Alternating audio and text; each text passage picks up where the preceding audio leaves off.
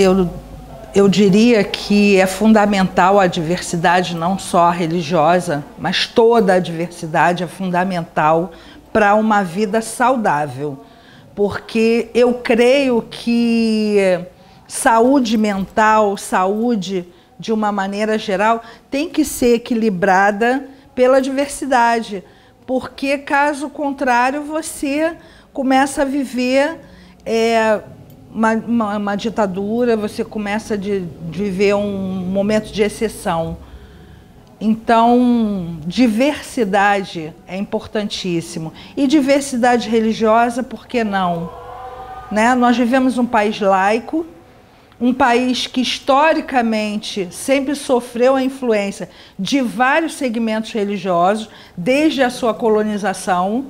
Então, hoje, querer que o país tenha apenas uma determinação religiosa é impossível. Não aconteceu com os nossos catequistas, né? E não aconteceu com aqueles que tinham o poder na época da colonização, eles não conseguiram colonizar o Brasil e transformá-lo num país é, católico.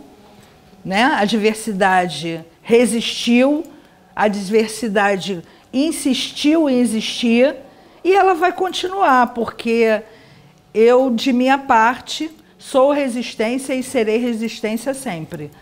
Diversidade é uma questão de saúde, é uma questão de educação, é uma questão é, de respeito e de direitos humanos.